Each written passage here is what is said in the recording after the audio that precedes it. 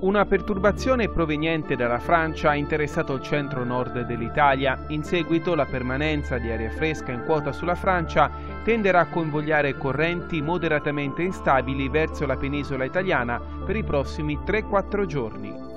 Lunedì 30 maggio in Toscana cielo variabile con schiarite anche ampie, addensamenti più consistenti sulle zone del nord dove saranno possibili locali rovesci, in particolare a ridosso dei rilievi venti forti, mari molto mossi, temperature minime e leggero calo, massime in leggero aumento. Cielo da poco nuvoloso a nuvoloso con possibili piogge in mattinata sulla piana di Lucca in Valle del Serchio, miglioramento dal pomeriggio. Cielo da poco nuvoloso a sereno in Versilia.